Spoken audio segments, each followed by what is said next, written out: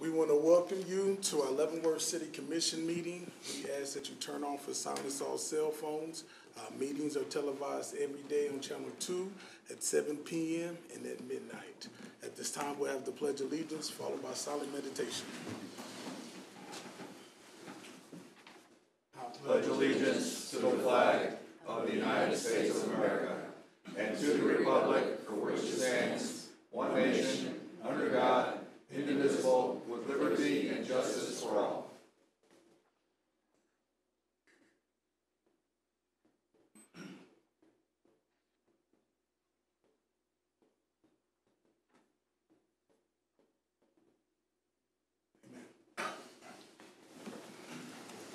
This time, we have a proclamation for Parks and Recs.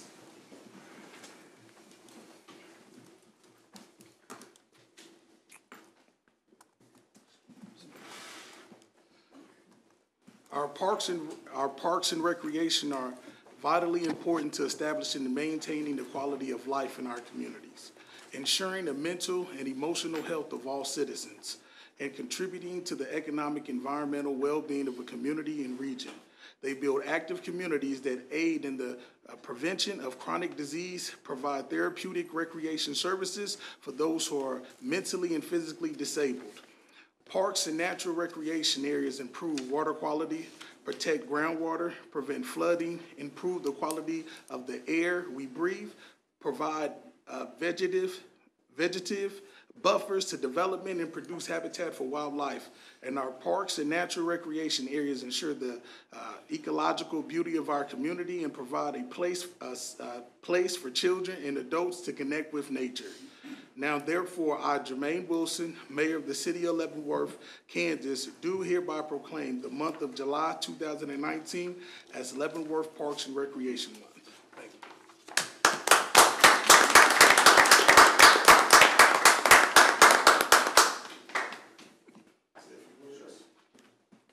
Thank you, Mayor. Good evening, Mayor, Commissioners. On behalf of our entire Parks and Rec Department, I'd like to thank you for this proclamation.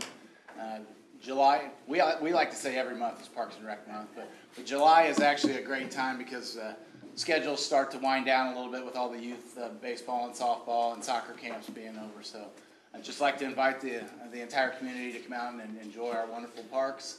And of course, with the heat, and it's going to be a hot weekend coming up, uh, the Wollman Aquatic Center is, is up and going full strength also. So thanks again for the proclamation.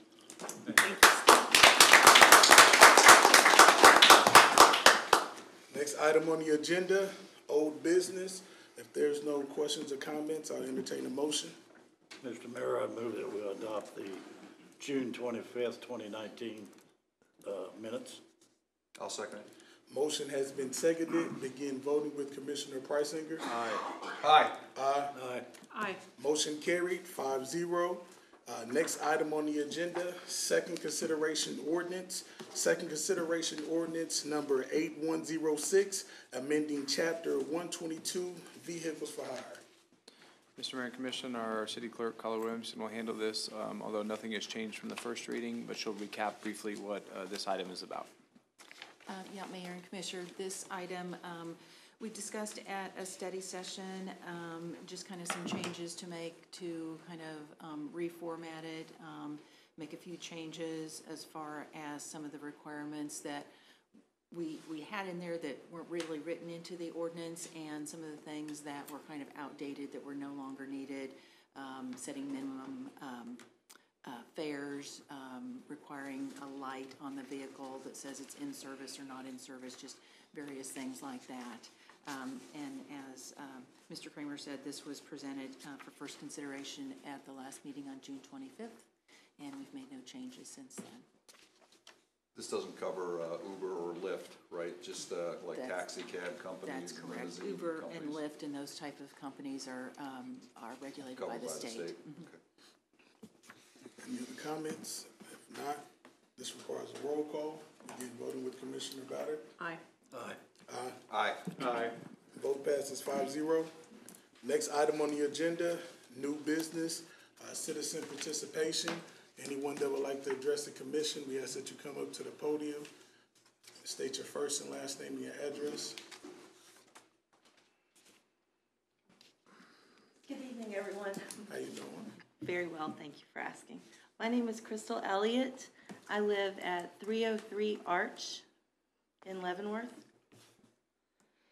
Um, I've come to ask what the committee's progress is regarding um, beekeeping in high-density residential areas. And wanted to gently remind y'all that it's up to us to make sure that the bees survive. And um, the United States Department of Agriculture says one in every three bites of food that we eat, bees are responsible for having pollinated those, you know, vegetables.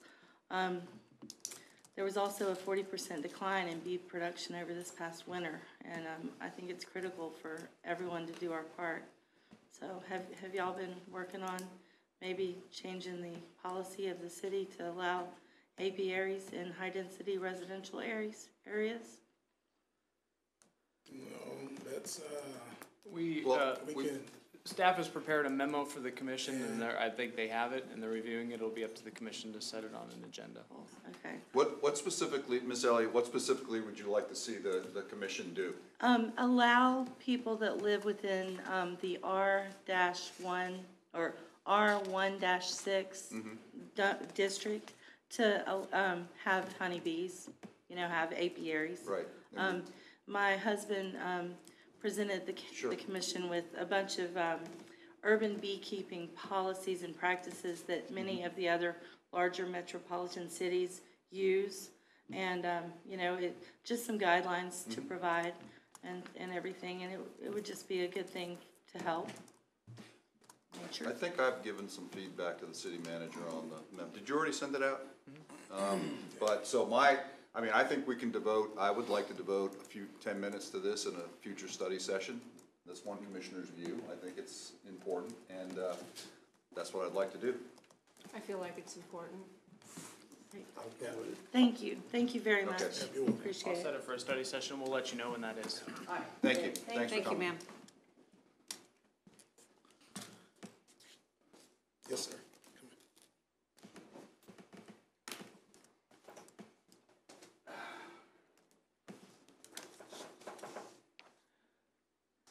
Mr. Mayor, Commissioners, good evening. Hello. My name is Harold Carl Peterson.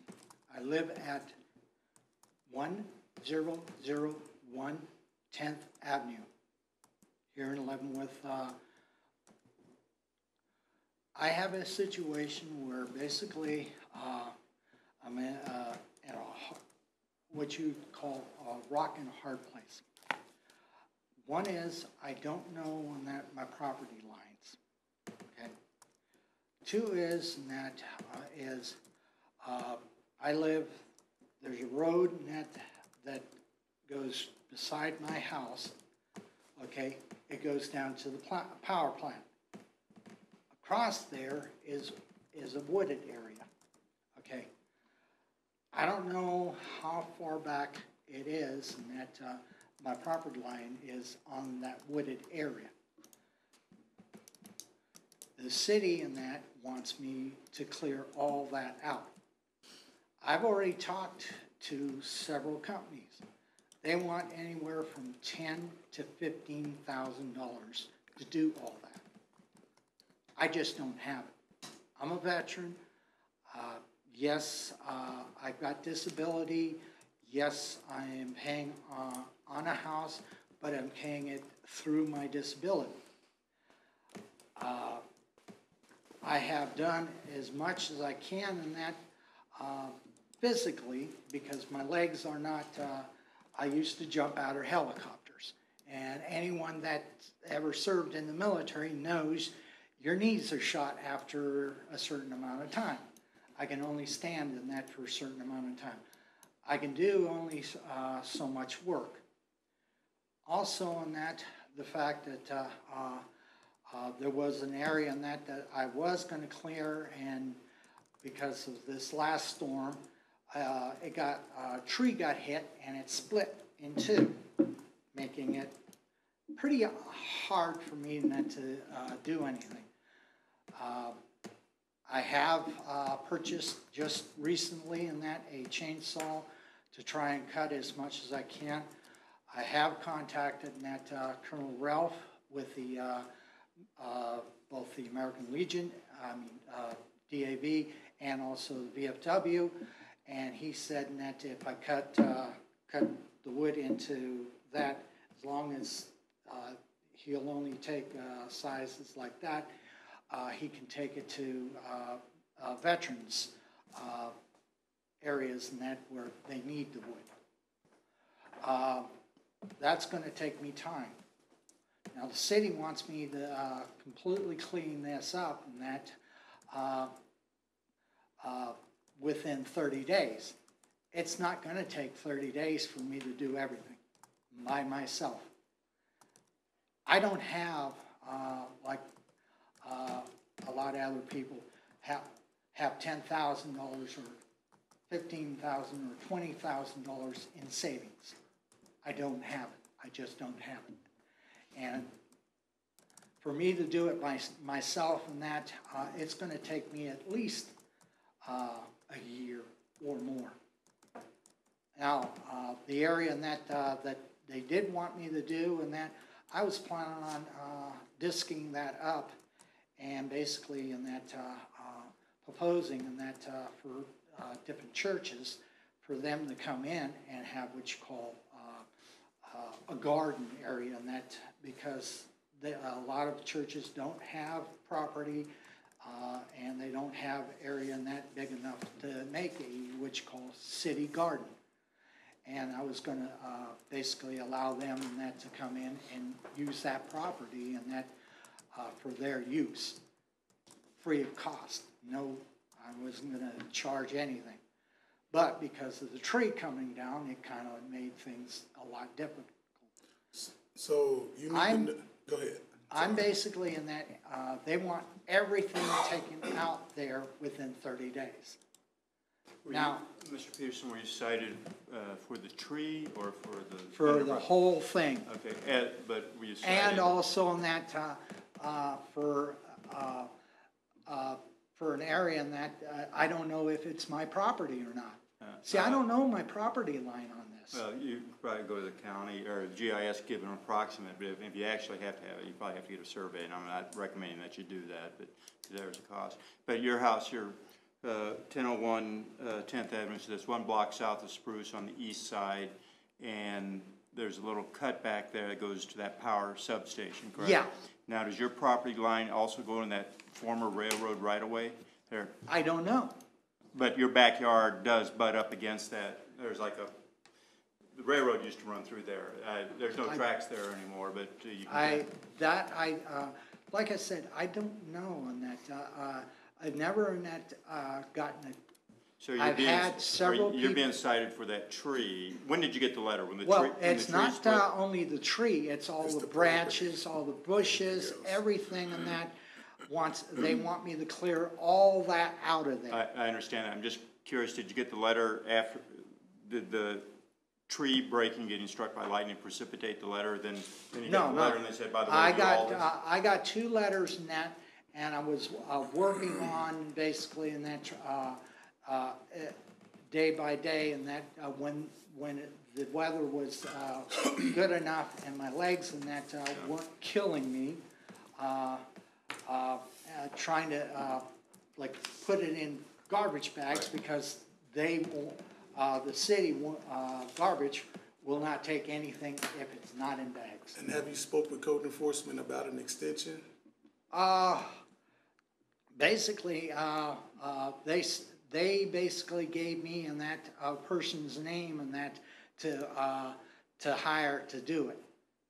That Well- person and that quoted me and that, uh, what was it, uh, eleven thousand five hundred and some dollars? I think the best thing that we can do right now is reach out to our staff to see if you can provide us with some information, uh, in regards to the property. And And we we can can, try to prepare something, um, for the commission on that, with the dates of the notices and, and that, and get you a little more information on what exactly was in the notice. Um, we have a ability to have Well- some flexibility, we're kind of, we're limited by a reasonable extension that the commission would have to probably weigh in beyond that. Yeah, yeah, But we can gotcha. get some information to you. Uh, on top of it, uh, the, uh, last letter s- uh, stated in that, that, uh, uh, I, I've gotta pay a fine in that of two hundred dollars. I have no problem in that paying that two hundred dollars.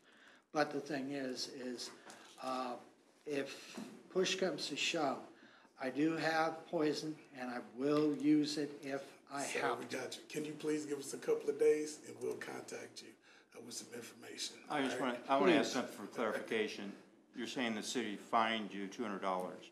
I, I could be wrong, but the we can't No, fine you. No, we, Unless we we advise. performed a service. Right, it would, it would, the judge would impose any. Yeah, the judge may have done that, not, not the city. Uh, I'd never, uh, seen a judge. Yeah, I don't think this has been filed in court. Yeah, so I don't. I haven't seen a, j- uh, judge, but I have on that. We had, uh, Um, not or at we this. don't know, or we can wait for the. We report. haven't at this time, no. Yeah, I'm just trying to figure out the genesis of two hundred dollars. yeah, just give us a Just couple give of us, days. give us a yeah. little time, Mr. Peterson. Yeah, Yeah, uh, uh, okay, uh, that's why and that I'm bringing it up now. Yes, sir. Because, uh, um, like I said, and that is, uh, the only options I, I, I'm seeing is the spraying. And I don't think anybody wants that. I don't want it, but I'd like them that to avoid that. yes, sir. Well, I'm hoping a Boy Scout troop or something is watching tonight, Mr. Peterson, they may give you a call. I don't, I'm not associated with Boy Scouts, but maybe something like that would happen, and be helpful. Well, I'm, I'm concerned, this didn't grow up overnight. Right. You know, it's probably been there since the ground was created and the trash went through it. And why all of a sudden are we in such a demand to get it tore down or cut out? You know, let's first find out whose it is. Yeah. Let's use some, some common sense on this. Absolutely. Correct. I agree. And like I said, Nat, is, uh, I wanna make sure, Nat, uh, uh, exactly in that, and that's why in that, uh, uh, uh, I would love to have, uh, find somebody that's reasonable to do me a, a, what you call private, uh, property assessment, that way and that I do know and that what is mine, what isn't, and that way and that, uh, uh, we can resolve that part, part, part of it. Yes, sir. But the other stuff, we're getting rid of all that stuff. I, uh, I just can't do it in thirty days. All right, thank As you sir. can see, I walk with a cane, and the reason I do, uh, walk with a cane is because my knees are shot. Thank you, sir. Thank you. Next item on the agenda, uh, review property at seven ninety-five Spruce. Mr. Mayor Commissioner, I'm gonna turn this over to our city attorney, David Waters, to give you a briefing on where we are with this. Uh, Good evening, Commissioners. As you'll recall, um, several meetings ago, uh, the property at 795 Spruce was on uh, your consideration list for, for demo, for continuance and, and all of that. And uh, at that time, uh, the city placed it on the demo, demolition list. And the uh, city staff then proceeded to engage contractors uh, to, to begin that work. Um, That has not been done yet, of course. Um, Couple of meetings ago, maybe it was the last one, a representative of the church um, appeared and asked for uh, some more time uh, from the commission, um, indicating they did not receive the certain notices and, and all of that that went along with it. Um, Indicated that some work had started on the property. My understanding from staff is that no building permits for that work have been pulled, however, though that there has been uh, work being done on that even without the issuance of building permits. About a week and a half ago, someone on behalf, an individual on behalf of the church or the property owner, uh, filed a, uh, a pro se motion with the, uh, district court here in Leavenworth, uh, requesting a, uh, restraining order or an injunction against the city demoing this property. The court uh, held its hearing on that today. Uh, I was not able to attend myself, I had one of my associates attend, I understand Ms. Hurley was able to attend, uh, though, and can, can speak a little bit more to some of that. Um, broadly speaking, let me tell you a little bit about what, what, you know, what the court, uh, did today. Uh, they had some discussion on standing, on whether the, the parties had proper standing in order to bring this request. Um, there's discussion about, the lack of counsel on the legal counsel, for, for the petitioner. What Judge King ended up doing today was continuing the matter until August twenty-first. Um, and the reason given for that was to allow, uh, the church or the property owner to retain legal counsel. Now, I want to explain a couple things that, things the judge did not do. Uh, the judge did not issue any restraining order and did not issue an actual injunction, uh, on the city in this case. Uh, so the city's demo ordinance still technically stands. Um, I would qualify that by saying that, you know, even though there, no ruling on that was made, I would probably say this is the judge's expectation uh, that by the time, uh, the next hearing comes up, that this would still be a live matter in some way, uh, that it would not have been rendered moot, uh, by the city demolishing the property, you know, say tomorrow. Um, that's probably somewhat implicit in the judge's order, even though it was not explicit in, in what was done. Or the judge would expect that this matter would be settled in, in some way. Um, I know that, uh, representatives of the property owners are here tonight to address, uh, the commission on what it is they would like to do, or what they would like to proceed, how they would like to proceed. You know, I think that the city probably does have a couple of options. I don't know that you necessarily need to make a decision on any one option tonight, and we, you know, we may have other meetings where we need to talk through this more. Um, you know, options could include, you know, doing nothing at this point, uh, keeping the building on the demoing list and, but, you know, not exercising your rights as to the demolition. Um, you could, uh, continue your demolition in accordance with the current schedule that you have. I think that would again be, you'd have to consider what the judges would think about that. So I guess I should say that would probably be option number one, continue on as you're going, you've got the demolition going. You know, but keep in mind kind of what the judge's order was. You know, another option would be to really do nothing at this time, keep it on the list, uh, but just hold off on enforcement, hold off on demolition until after the judge's hearing in some way who can say what could happen, you know, at that, you know, it may be the case that council is obtained, council could request more time, so, you know, things could, you know, drag on more in some ways.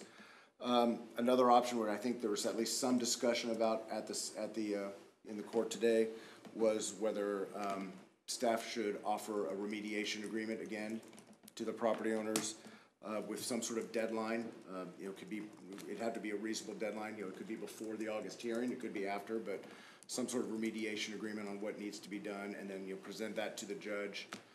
You know, if the, if the offer is not accepted, that would be what we would go and tell the judge that, you know, hey, we offered this and it was not accepted, so judge would ask you to, you know, proceed. Or it has been accepted, and, you know, the timeline that we've agreed to for, for that, um, remediation is X date, and, you know, the judge may continue it, or he may dismiss the case at that point. A lot of moving parts here on that, and so there, I would say there's not really a, a, a fixed decision, uh, you may need to make tonight, but I wanted to at least make you aware of that and some of the options that be available to you. And also understand that, again, the property owners are here and may want to uh, address you as to how they would proceed moving forward. The only thing I would add is that if we did go the mediation, uh, remediation agreement route, the traditional remediation agreement that we do through this process just, um, uh, deals with building condition. Um, but the remediation agreement that we would ask if the commission were to authorize that would also take into account the requirement to get building permits, pay building permit fees, and then, um, refund the city for costs already incurred through the demolition process, which we went through after proper, uh, and full notification. Okay. Would you like to address the commission, Pass? Uh, Can I ask some questions first, Mr. Mayor, of the You attorney? wanna ask him, man? Yeah, ahead. yeah, before, and Okay, then go we'll ahead, go go ahead. How mu- how much money do we have in this and all the shut-offs, uh, et cetera? Do you know, Mr. Kramer? Ms. Um, what we've been invoiced for so far is about nineteen hundred dollars. There is some that we haven't, the city has not been invoiced for. Um, the, our actual demo contractor has, um, done some mobilization work and going out to the site. They have not invoiced us for the work they've done, even though they haven't taken it down, they have put in time and work into that, and we have not been invoiced for their work so far. But the utility shut-offs, um, the environmental review, uh, those types of steps that we normally have to go through, uh, add up to about nineteen hundred right now. And approximate, I know Mr. Burdett's not here and you don't know, how much would building permits cost approximately? Yeah, just a ballpark. Um, Mr. McDonald might have a little better idea. Yeah, I, I honestly don't know what building permits. But We'd we're probably, get in I- I would- see what work's been done. yeah, so we're probably, look- right now, we probably have something around, I'm guessing three thousand dollars plus or minus a I, little bit. I would guess probably under a little bit, but Yeah, yeah. once we get all the invoices. And we did offer remediation agreements many times, and they would, uh, the owner said, my work will stand for itself, Yes. I'm not signing it. He was offered it, it's not, and he at that time decided not to, uh, sign. Correct. And, but now, now work's been going on and no, uh, uh, work, uh, no building permits whatsoever have been issued. Correct. And is there any power or water or plumbing in this building? No, all utilities have been disconnected. We So it's haven't, uninhabitable right now, Correct, as is? correct. Okay. And, uh, are all the taxes paid, do you know? uh, as far as I know, the taxes are All right, current today. on that parcel. Okay, okay, I just wanted to get some clarification there.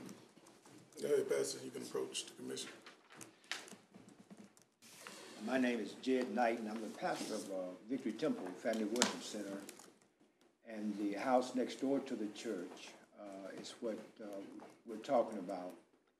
And I would like to say that uh, in reference to the statement that I refuse to sign any agreement, uh, I would like to say that is, that was not my intent, and I never knew that I needed to sign any agreement because when we was in the meeting before, I had stated that I had been working out of town.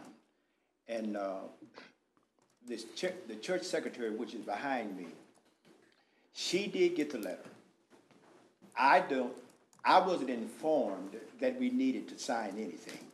So I had no knowledge. I would not have refused to, to sign something to uh, give us more time to do what we needed to do or come to some agreement. So no, I did not refuse. I wasn't available. You, you, you never saw the remediation agreement, is that what you're saying? Uh, When I, when I got the letter, I gave it to her because I'm, I was, I was in and out all the time. I was only here on Sundays for a long period of time because I was working out of town for a year and three months. So I would come in on Sundays and sometimes every other Sunday, depending on how far I was working out. So uh, I, I, I dropped the ball by not reading it myself, but uh, I did not even read it. I did not know to sign it. I passed it on to Mother Green, and uh, the other the other thing that we got, I, I'm not I'm not even aware. I have I have no recollection. I, I, uh, Pastor Dayton, I, uh, Dayton or Knight? Knighton? Knight, K-N? K N I G H T E N. I'm sorry, sir. Uh, as I, I'm kind of recollecting, I was trying to go back through some notes. Uh, I, I, I'm recollecting that someone from code enforcement did meet with you personally and give you the remediation agreement. At that time, you, I could be wrong, uh, and I'm asking some clarification here. And you said no and said, my work will, you will see, I'll have this corrected, my work will speak for itself. And that was back in March or April, if I am correct, if my memory serves me correctly, I don't know, Ms. Hurley or, um, want to get to a Uh, cross-examination that's, that's what we have in our notes. Well, now I was I talked to Lee personally, face to face. And with remedi, and she had a remediation? She had, she had no letter for me to sign. When she told me about the meeting, I told her that, okay, I uh, will do my best to be at the meeting. I said, in the event that I don't make it, this is the work that we're doing. Can you let, can you at least let them know that we're doing the work? And that's where we left that. I did have to go out of town, so I did not make it to the meeting. So, but I did talk to Lee because sometimes I was in maybe like on a Tuesday, just in and out, or on a Thursday, just in and out, and I just happened to see her. But, uh, but, but the, uh, at no time, I just want to say, at no time would I refuse to come to some reasonable agreement with any authority because I know that when you are in disagreement with authority and rebellious, that is to your own demise. I know that. So when you, uh, when they presented you with the remediation agreement, did you understand the process and how the I never- steps you needed to take? I never, I never saw that. Okay, okay. Yeah, I did see that we needed to be working on the building. And I did tell them that we were, that's what I expressed, Lee, we are working on the building. She said, well, you need to work on the outside of the building. Yeah. Yeah, and I did do some work on the outside. I did put a new window in on the outside. I did put, uh, I did repair the roof on the outside, and I did put two doors in. Uh, but what happened is that, uh, the last time I had an encounter with the city, or with, uh, uh, with, uh, anyone, is when they came to take up the, uh, to cap off the sewer line. and that's when a lot of people merged on the property. And I, and that's when, that was the first time that I heard that I needed to get a permit. Now, where I come from, I'm a contractor, but where I come from, from Texas, we, at that time, years back, we did not need a permit if it wasn't structural. You know, putting in a window is not structural. It, it, it's not, it has nothing to do with the foundation, it has nothing to do with the structure. Putting siding on is not structural. So, uh, when, when I understood that the city was serious and it was pressing, uh, I went and started, uh, borrowing money, asking for donations, and I went and got all the windows and put all the windows in. And I went and got siding, and I put the siding on. And that's when everybody merged on the property and go, well, what you did was nothing, because you never got a permit. And that's when I replied, that if I would have known to get a permit, because they've been telling me, you need to work on the building, you need to work on the building, this is my first time hearing about permit. So what was everything that needed to be done on that property? Um, what we had put on the remediation agreement that was sent out back earlier in the spring was to repair, replace all the siding, uh, repair, replace all the windows and doors, and to paint the exterior of the structure. Has any of that been done? Um, I know that they've been working on all of those items. I, I'll be honest, I haven't personally inspected it in the last, you know, week or so, so I couldn't say if they're complete, but I know that all of those items have been under progress, but as we said, none of them have gotten permits for any of that work. So, uh, this is me, I'm proposing this. If he was the, Before Go you get propose the- something, can I, could I ask him a question? Go ahead, Mr. go Mayor? ahead. What do you intend, to if we, uh, if the commission was to adopt, um, option number two that Mr. Waters was talking about, what are you gonna do between now and the twenty-first of August, when you have that court appearance? What's your Uh, intent?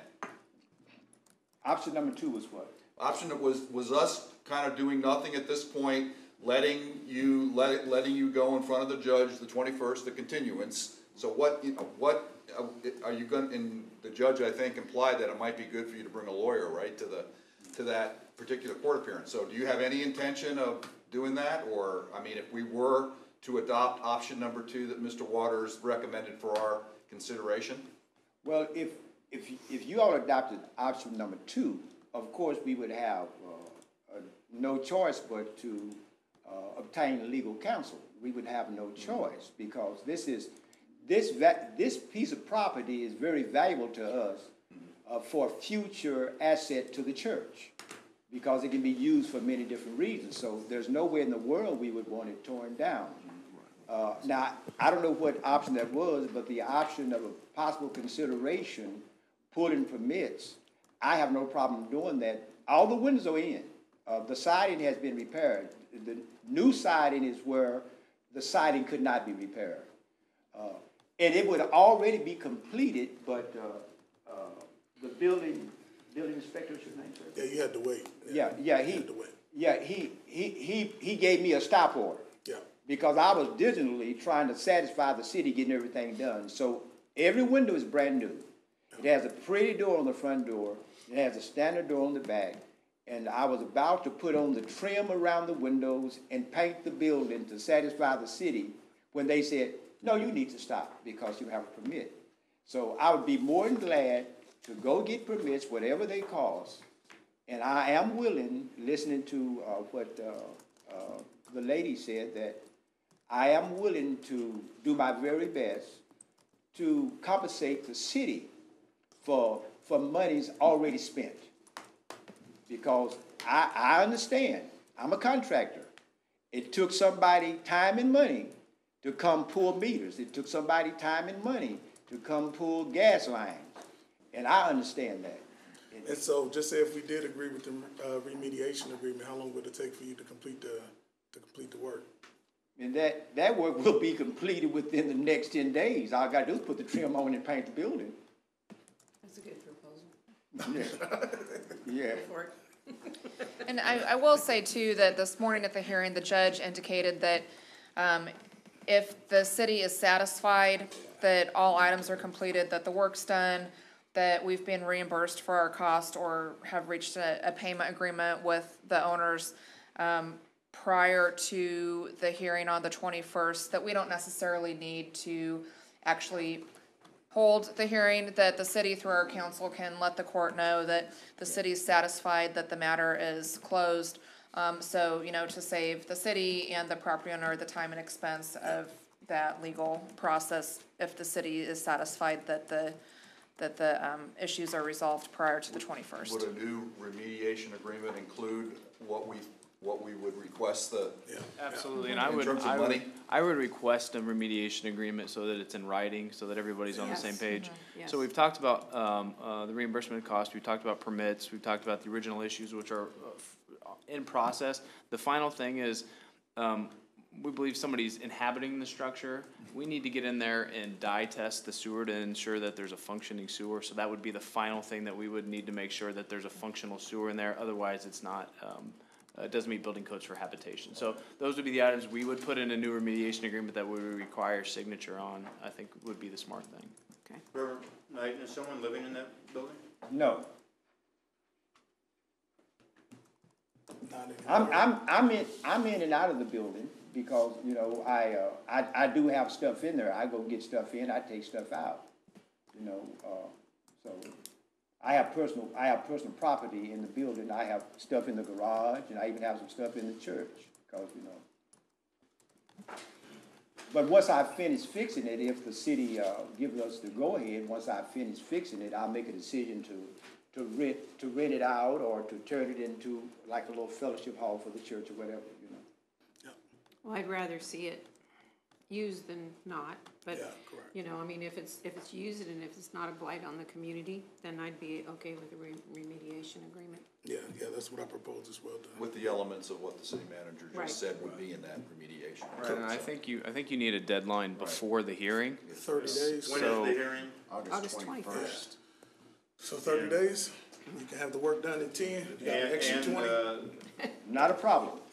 Um, I'll make a motion. Uh, Mr. Mayor, move that we, uh, do an extension until, what, what is the date again, Mr. Waters? I think the date we'd be looking at would be until August thirteenth, one week prior Uh, to the. In uh, our first regular meeting in August is, uh, anybody have a calendar handy?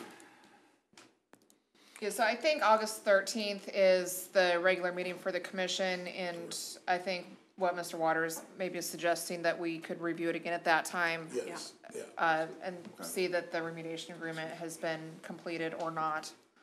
So we could have, we could have a mediation agreement drafted probably in the next twenty-four hours, notify Mr. Knighton, he would need to sign that with the date on there, all the items.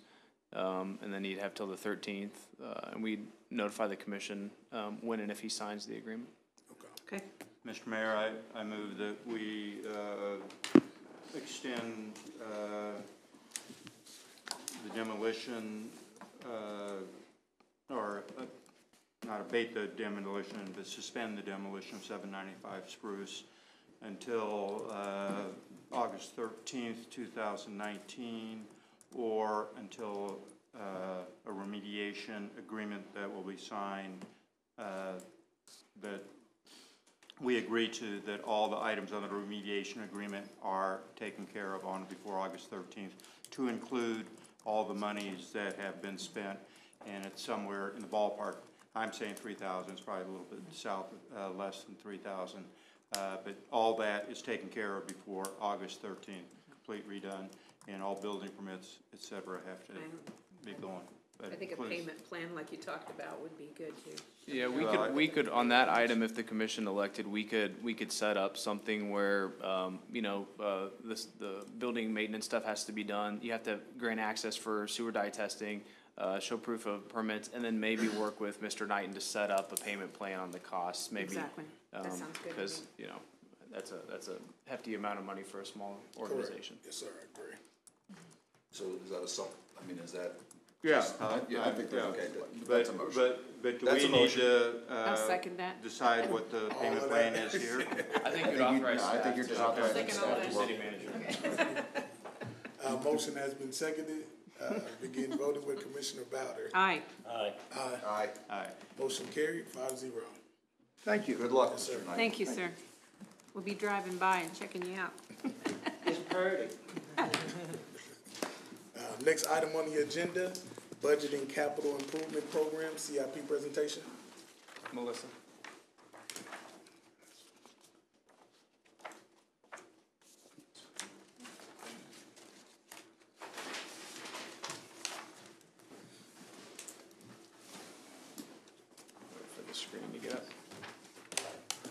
Mr. Mayor and Commission, uh, this is the annual uh, presentation of the city manager's proposed budget. As you'll see this year, it's the 2020 operating budget and the 2020-2024 capital improvements plan. We'll talk about this more tonight and then over the budget meetings on Thursday and Friday that we combined uh, for the first time the operating budget and capital improvement budgets. There's a number of reasons for that. Capital budget uh, we typically do in the fall, uh, but this year the, those budgets are combined into one process. So what I'm gonna do tonight is give you an overview of the budget, the budget considerations, the highlights of the budget. I'm gonna preview a little bit about what we're going to speak uh, to Thursday and Friday as we go department by department, division by division, organization by organization uh, through the budget process. Um, so the budget overview. Uh, first and foremost, uh, the first bullet point, the, the budget that I will present to you uh, tonight and then Thursday um, is a balanced budget with no millage increase. Um, there's a redistribution to focus on roads. Roads has been a priority, top priority of the commission. Uh, we have heard that, um, and a top priority of the public. And the 2020 budget increases road funding by 48% to $2 million. Um, briefly, five years ago, we were at um, $850,000. We went to 1.35 million. However, the year we did that, we started the five-year project on 20th Street. So we haven't seen what 1.35 million looks like in the neighborhoods and on the arterial and collector streets. But um, we know that there's more demand than that. 20th finishes this year, so that money will return to the road budget.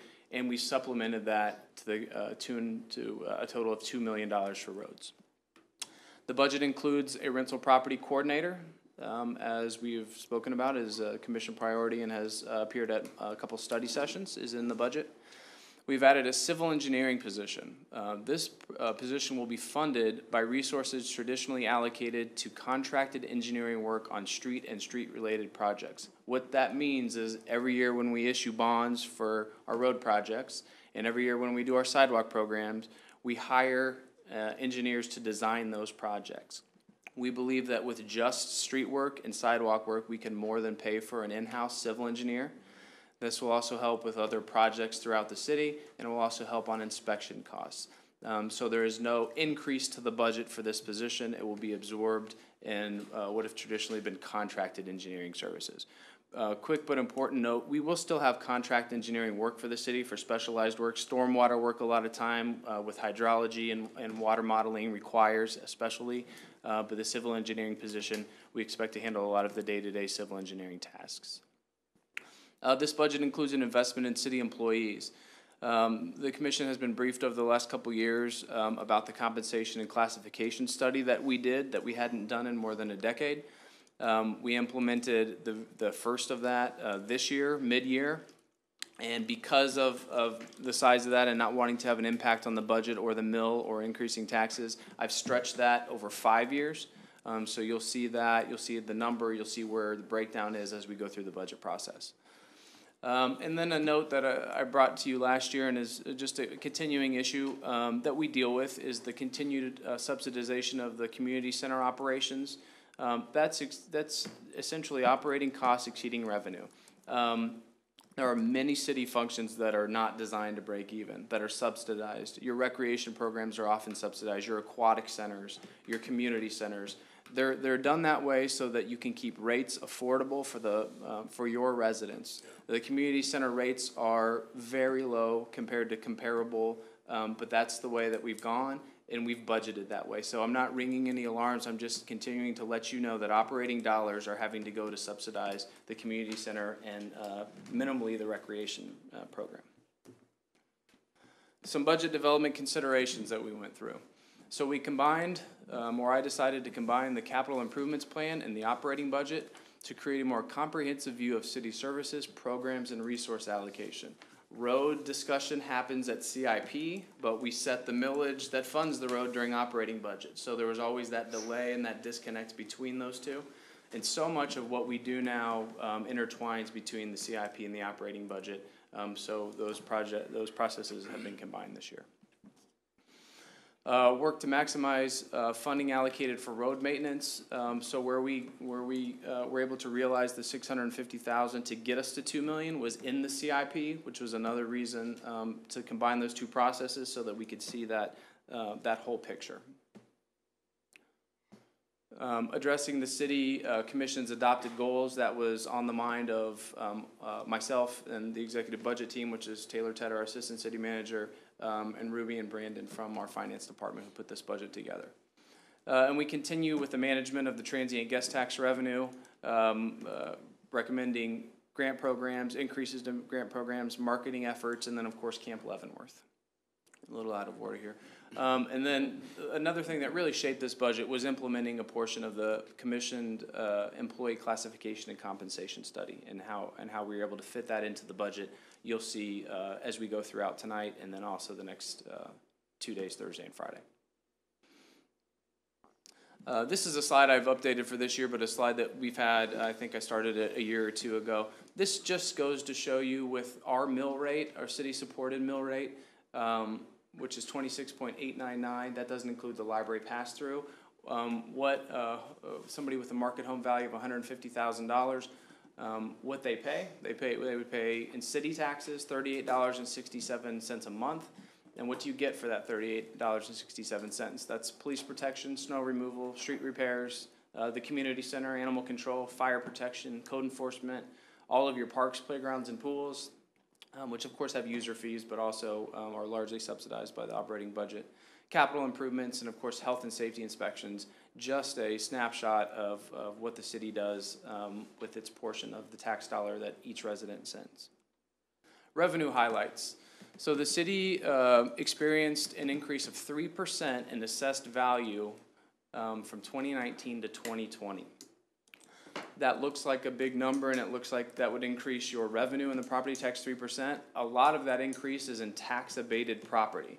So while it comes in, it goes back out. Those would be TIF districts, those would be NRAs, Neighborhood Revitalization Act, which is any investment from the river to Tenth Street and um, from Spruce to Metropolitan. So all new improvements in that, um, based on a sliding scale, those tax dollars go back to those people or those uh, entities who have made that investment. Uh, so a lot of that growth um, does not come back to the city, but it is positive. It shows positive growth in the city. It shows investment in the city. The next item is uh, total sales tax and tax funds uh, increase about three percent, or four hundred thirty-three thousand uh. And then uh, our other revenue streams. Uh, so the property tax net net gain was two hundred twenty-one thousand eight hundred eighteen dollars. Franchise fees increased. Uh, motor vehicles, and the only decline in our revenue structure was court fines and fees. We budgeted for 2020 a decrease of $50,000, um, which uh, is a small percentage of that budget. Um, we'll talk about this more tonight, but then really get into it over uh, Thursday and Friday. Is rates, refuse rates, and sewer rates. Those are the two utilities the city um, uh, charges. Uh, sewer rate increase um, is due to a complete reconstruction of the 1990 or 1972 final clarifier, which is um, at least um, a quarter of a million dollars that's going to be required early in the year. As we talked about in the sewer rate study, we do not have a capital reserve, so we pay as you go financing. So when something like that comes up, the complete replacement of the clarifier, it has to be paid for by rates. So that's where that came from. Um, refuse, there's a number of reasons for that, and we'll get into that on Thursday and Friday when we go through the refuse rate increase proposal. Uh, the general fund has a budgeted reserve of $2,727,289 which is available to support unanticipated revenues. That reserve level is uh, is at thirty-one percent. The city's stated reserve goal is sixteen percent. So, um, along with uh, the millage, uh, no rate increase in the millage rate, um, this is a good sign of financial stability at the city that we're able to keep our uh, budgeted reserve um, at 31%. This is uh, just a summary of the purposes of uh, places of revenue. Where do we get um, our revenue? Um, as you can see, 45% of the city's revenue is sales tax. That's um, unique to the city and in this county. A lot of uh, cities in the county are driven um, more so by property tax. The city of Leavenworth has a strong sales tax base, uh, which helps us keep the property tax levels low for our residents. Property taxes only make up 19% of our budget. franchise fees sixteen percent, um, and down from there. Um, here's within the city, this does not include our enterprise funds, which would be like sewer and refuse, or our federal dollars that come through to fund, uh, the housing office. But our general fund dollars, police department and fire department together, um, uh, constitute, of course, the majority of the budget. Um, sixty-three percent of the budget, uh, go to police and fire, public works, uh, fourteen percent, um, administration, which includes all of your, uh, human resources, finance, city clerk's office, city manager's office, are eighteen percent of the general fund budget. Some expense highlights. The Riverfront Community Center requires, and I, I spoke about this in the overview, about four hundred thousand dollars of operating subsidy from the general fund. Um, the only way to reduce that, uh, would be to decrease expenses, but that is just hours run. A lot of that is driven by utility costs at the community center, just operational costs. There's nothing extra that goes in. It's staff, uh, to man or, uh, or staff the building, utilities uh, and costs of running it, or increased fees. Um, we've budgeted for that subsidy without a tax increase, so, um, that's a condition that the commission could address or not, but it's in the budget with no tax increase. The inclusion of sixty-two thousand for the, uh, that's total compensation, salary and benefits for the rental property coordinator. Uh, increased city contribution for KP&F, uh, police and fire pension system, and also the KPERS pension system. And then health insurance costs, as the commission, uh, may remember, um, we budget a number that we have a rough idea from our broker and from our carrier, but we don't actually know that number till the end of the summer, the beginning of the fall. But what we do is we set a max. So we will not come back to you for a higher than 8%. If it comes in higher, we'll reduce our benefit. We'll work on something with our carrier. So the budget, uh, we won't come back asking for increased budget authorization. Uh, 8% is where, is where we would be. And then um, I'll get into employee compensation in a minute. The 2020 portion of the five-year phased implementation of the employee compensation study is 268,000. That will decrease as the years go by. What we did is the larger increases were stretched out over five years, the shorter ones, uh, one or two years. So the bulk of your employees will receive it in year one, two, or three. It really starts tailing off in year three and four. And then year four and five will be much lower. It'll just be the employees who had the largest, um, increase. And those are all through the ranks, um, and all through the departments based on, uh, a study done by Springsted on the market and the job duties and titles. So the employee compensation is recommended, it will be recommended in the budget, um, that the twenty twenty employee compensation plan include a two point two five percent across the board increase for employees implemented mid-year. The compensation plan is slightly below those being provided by most municipalities in the region. However, with the increase, um, the budget includes that two hundred sixty-eight thousand set aside for phased implementation of the study, um, which then brings our total employee investment in line with other communities.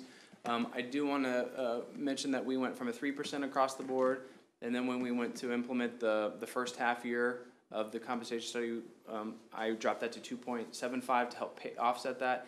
And then um, we felt like we needed to help offset that cost again, and uh, without increasing the other parts of the budget. Um, so two point two five is what is going to be recommended. Um, a lot of employees did not uh, benefit from the compensation and classification study, so that was a number that I felt as low as we could go and not penalize those employees who the market didn't indicate uh, deserved an increase in their pay.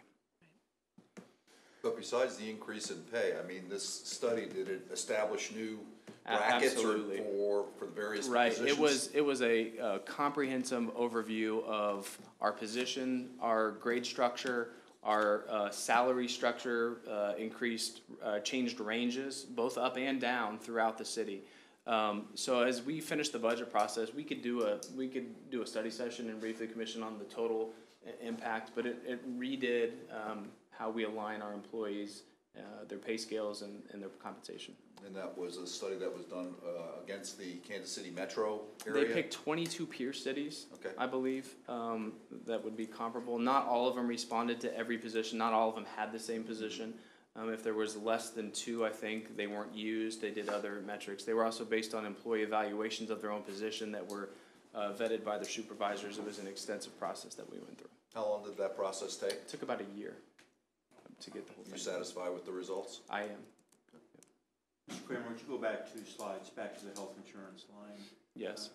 You say health insurance costs are budgeted to increase eight percent, which would equate to three hundred ten thousand. The increase is not three hundred ten thousand, is it? Yes, So we're paying like three point eight million dollars annually in health insurance? yes. Oh, yeah, it's on the Uh, claims I every month. realize that, but we have what, two hundred twenty-five employees, approximately, Mm, two hundred seventy-five. two hundred seventy-five, so we're at, But, but, but, we also have a lot of retirees on our input, Okay. on our, on our. okay, so, but just on the active employees, that equates about fifteen thousand dollars an employee. Yeah, and that's, and as we go through the budget, especially the, the overall on, uh, Thursday, we'll get into the health insurance costs and where Okay. we are, um, as we go through. It is a substantial cost. Yeah, okay.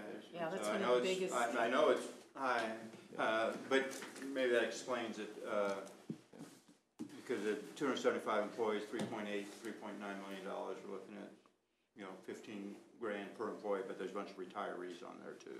Uh, y- Yeah, well, there are, and there's, um, uh, family plans with large, uh, groups, there's single plans, Right, there's, there's a lot of right, but, but our out-of-pocket, what the city pays is three point nine million approximately, and employees, obviously, they, the cafeteria, they included Right, family, they we'll go through the some. bene- yeah, we'll go through the benefits, but yeah, we are, I mean, cities don't make anything, we are a public service, uh, service industry when it's people, um, that do the work, so the majority of our cost is salary and benefits. Yep. Okay. And the health that three insurance is point the nine highest. million, just, let's say, let's say I'm an employee, I know my, yeah, that I get paid, but I want my family, and I have to pay an extra two hundred dollars a month, is that two hundred dollars a month Major included in that three point nine million? Because you. So we pick up the, a percentage, as, they, everybody picks up a percentage of buying up to a family plan, the city doesn't foot the whole bill for. a No, I lot. understand that, but when I throw in my two hundred dollars, whatever it might be, is that part of the three point nine million? I don't believe so, that's full city cost, yeah, that's full city costs. Yeah. Okay, okay, just wanted to understand, okay, thank you. Um, okay, so, uh, just two slides on the capital improvements program, since we have added that, an overview of that, we will talk about that Thursday morning, uh, it's the first item up. Is the inclusion of six hundred and fifty thousand dollars in the CIP sales tax fund to go along with the one point three five million in GO bonds. So where did we get that from, just briefly? We're suspending the curb replacement program. Um, that's about hundred and sixteen thousand dollars a year. That doesn't mean we won't be replacing curbs. We'll absorb those into project costs. Um, uh, we've cut the sidewalk program in half. Um, we still have left hundred ninety-two thousand, I believe. Um, and I'm hoping that we'll get more than just half the work because we'll have the in-house civil engineer, so that one ninety-two can go to projects and not necessarily design or inspection. Um, uh, and maybe we can do a lot of work with that if we, if we maybe work smart, uh, and try to maximize those dollars. And then the rest, or the remainder of that increase was the organic growth and or foregoing a couple other projects in the CIP. Uh, something that dropped off, um, we, rather than reallocating that to a new project, we put it into the roads. Um, and then some of the organic growth in the sales tax funds, that's how we got to six hundred fifty thousand dollars. Uh, you'll see the budgeted for the long-awaited, uh, replacement of the nineteen ninety-two fire department aerial truck. Um, will start next year, uh, with bond payments, the first bond payment, I think, scheduled for twenty twenty-one. Uh, it's a one point four million dollar piece of equipment. Uh, the replacement of six city vehicles, is a standard, um, uh, item every year, including four new police patrol vehicles, which is the standard cycle on police, uh, vehicles, about four a year. On ongoing debt allocations for the business and technology park, Thornton Street reconstruction and Tenth Avenue Street projects, both of those, uh, bids open tomorrow at three, so I'll let the commission know, um, Thursday morning how those bids opened up. Um, the animal control facility is still on the books, as well as the Second Street over Three Mile Creek project.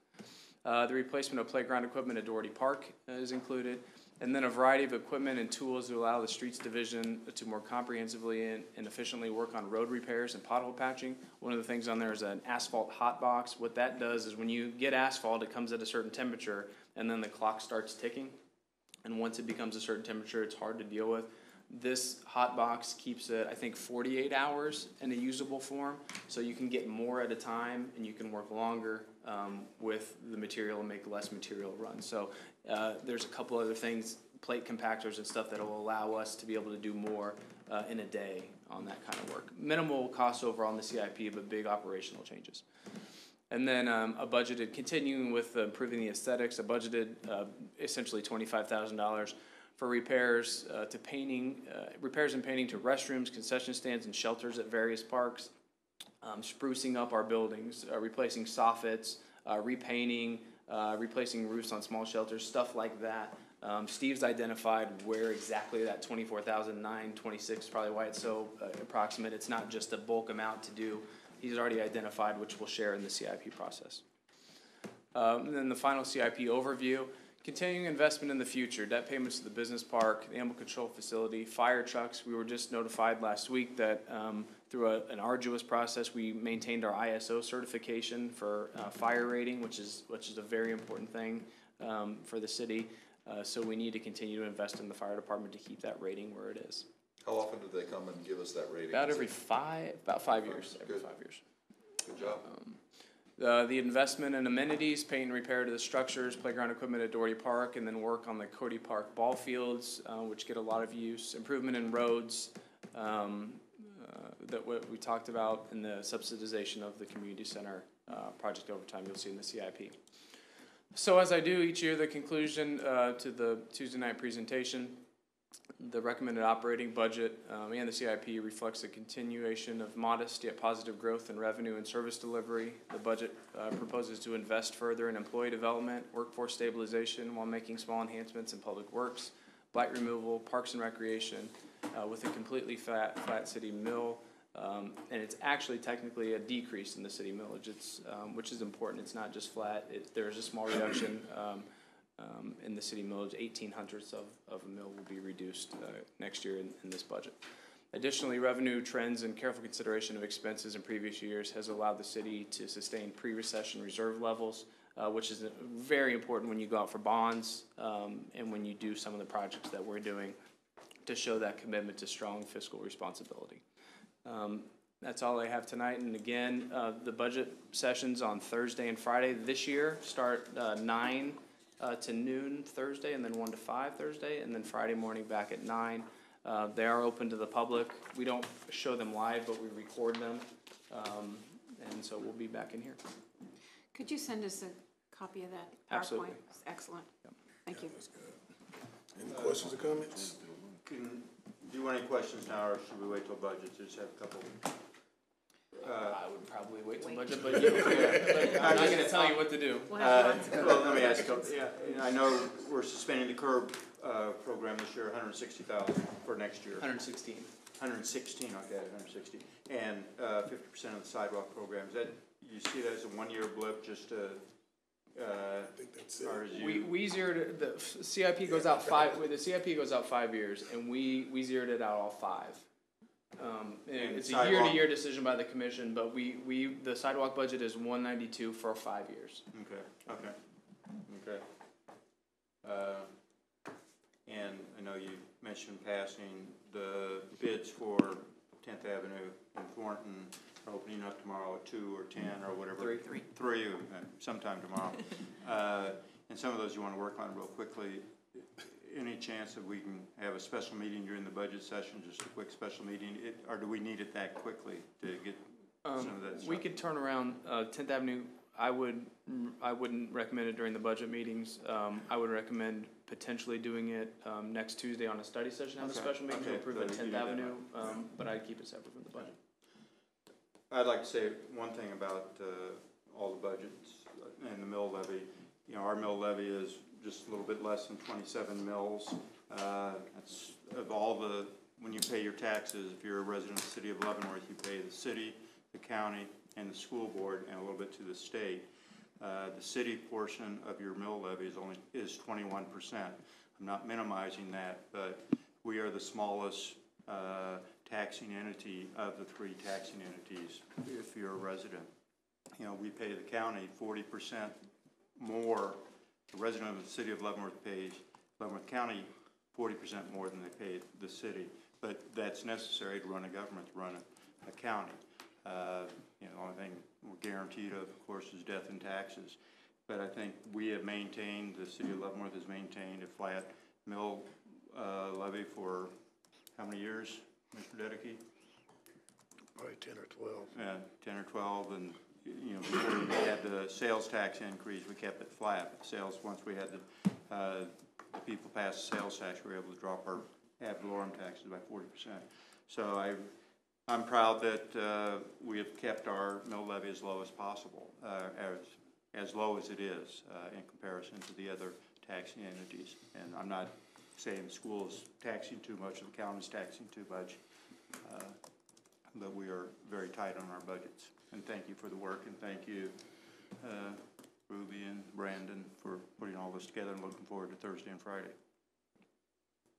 All right. Um, Any other comments?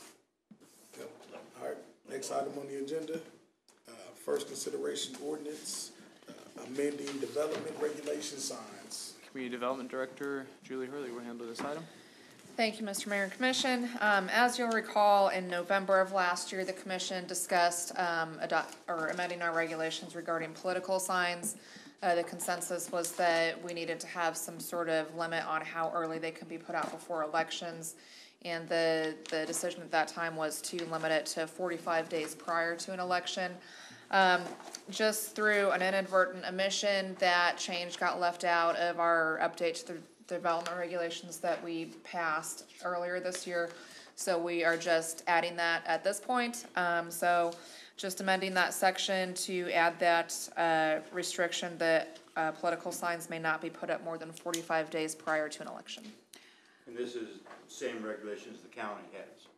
Yes, So we're all in, Yep, we're all so, in uh, yep, lockstep yep. now, so there's no, oh, that's county, that's Correct. city, okay, we're all together. That sounds good. Except doesn't the county have a distance from the s- center of the street for their right of way? um, I'm, I'm not sure about that. I, I just, um, in looking at other communities, which I did after I saw this last Friday, knew this was coming up, um, it seemed to me that in, in their ordinances, there were different ordinances in Lawrence and, and Johnson County and elsewhere.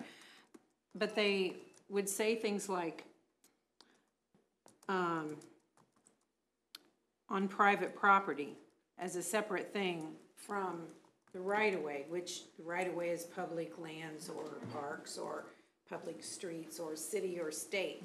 And someone would just say city or state right-of-way. They wouldn't say, I mean, sorry, state or federal right-of-way. They wouldn't say anything about city right-of-way.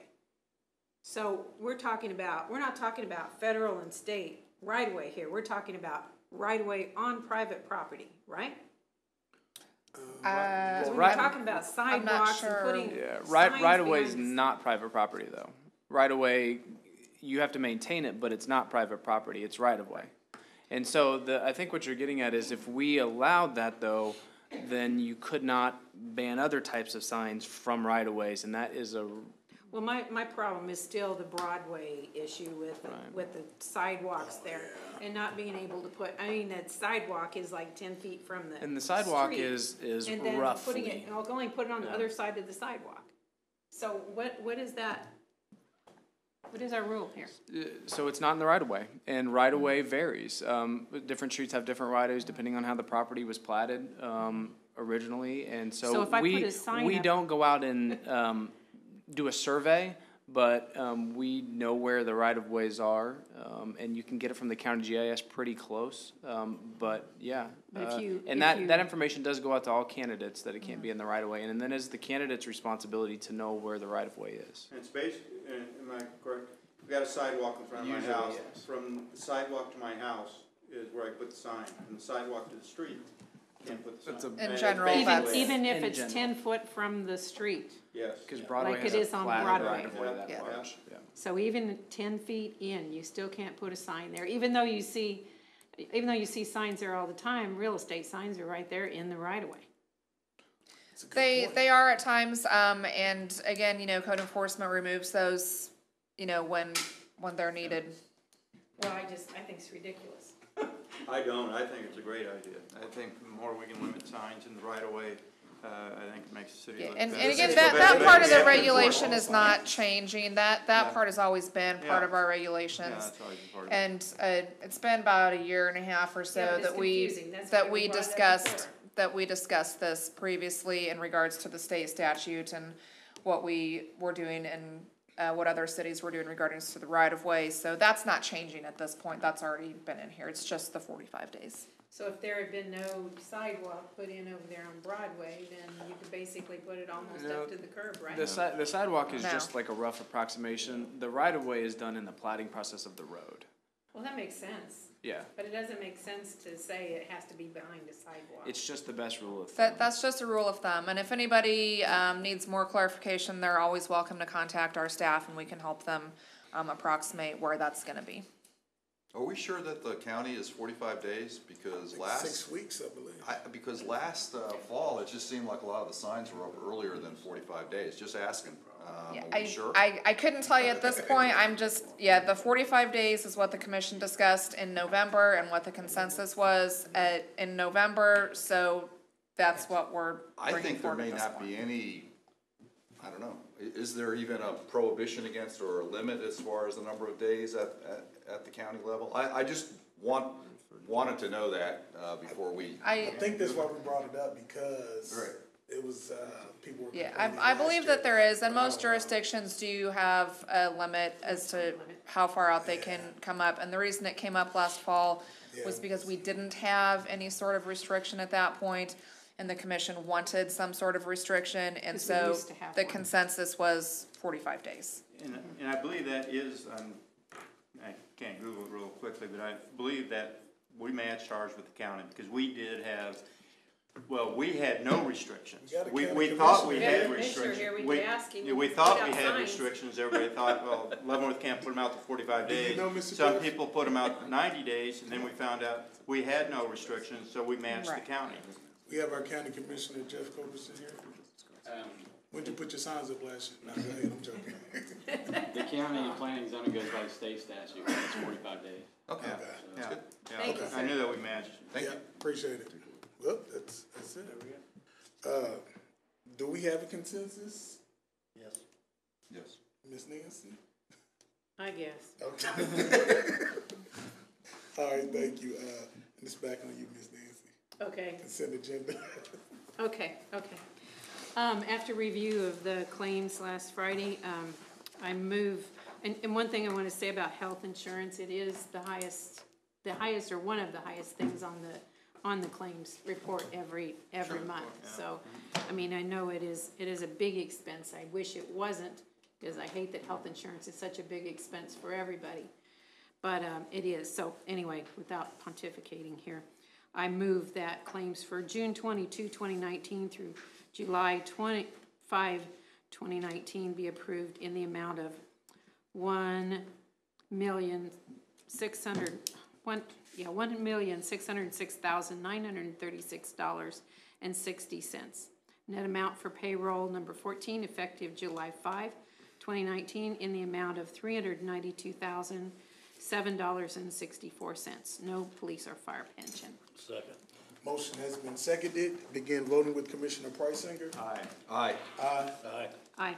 Motion carried, five zero. Uh, are there any other comments that our commissioners would like to make, starting with Commissioner Bauder, No, not at this time. I think I've made mine already. Commissioner Dedeke, No. Commissioner Preisinger, I think, thank you. Commissioner Griswold? No, I just look forward to the bu- the budget meetings we have on Thursday and Friday, as the other commissioners do too. No, sir. All right. If there's nothing, I entertain a motion to adjourn the meeting. Second. Motion has been seconded. Begin voting with Commissioner Nancy. Aye. Aye. Aye. Aye. Aye. Motion carried, meeting adjourned.